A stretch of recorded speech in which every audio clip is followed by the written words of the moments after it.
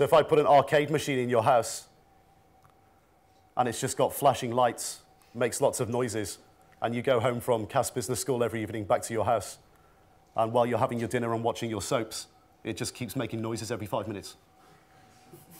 but it costs you 10 pence to play the game. What's going to happen? At some point, you're just going to get bored with what's on TV, and you're going to put 10p in to see what happens. And then you're going to get hooked. And then I'll come round every month and just empty the machine, and then we start again. it's exactly the same principle. And this is why guys like Steve Jobs, to me, were geniuses in a different way, because they knew through design and functionality, if they put something sexy in your hand and made you pay for it, which is even more ridiculous, yeah, that you're going to actually, at some point, press the button and download every app that you don't need in your life. because none of it's going to make you money. It just makes the vendor, the provider, money. That to me is why Steve Jobs was a genius, and he knew that. That's why he designed it so beautifully, so you'd go and buy it. But you'll get, you'll get lots of seduction techniques. And there's nothing more seductive than receiving something for free. what, you'll, what you'll see is lots of seduction techniques and marketing, like trade like a professional, with ultimate precision and capability. That's an advert that's on Bloomberg TV at the moment.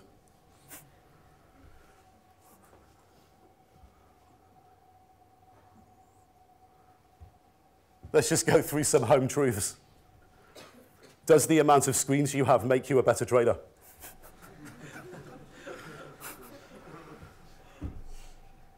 First example, are they, are they linear? Is the relationship linear? The more screens I have, the more money I'm going to make in a linear fashion. Clearly not. Is it exponential? Clearly not. At some point, I'm going to have so many screens that I can't even fit them in my room. All you need, really, is two screens. You just need one for your trading application. And by the way, that's if you've got a big trading account.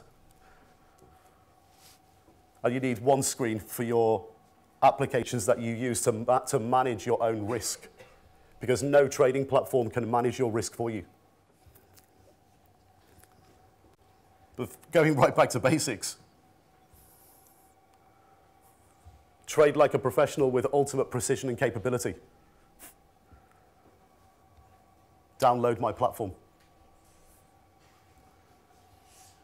But who's the platform for? It's not for professional traders, it's for retail traders.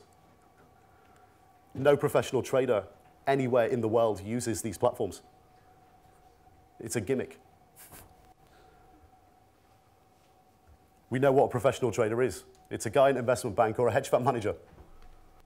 If you put one of these trading platforms in front of a hedge fund manager, he'd just laugh. because they have direct market access. And they just, to get liquidity, they call the banks. They don't really care what platform they use, as long as it executes well and does what it says on the tin. And they get charged the rate that they want to pay. Pretty basic. It's an execution tool. Doesn't do anything else for you. But the perception is that the more equipment you have, the better you're going to do. And this gets rammed down people's throats because it's free. This is the making you click situation. And the people on the other side know that if they give you something sexy for free, you're going to click. It's misinformation. No professional traders use them. But also, all of the features of the platform will be sold to you as things that you need to trade. You don't. There shouldn't be anything on a platform that you need except buy and sell. Because outside of that, you're doing all of your own work. you shouldn't have to rely on anything on the platform except buy and sell.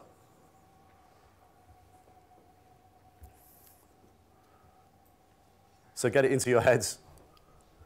You're going to end up trading like George Bush, upside down, buying when you should be selling, selling when you should be buying. so, what do you see when you look at that? Most people see a phone. I see a trap.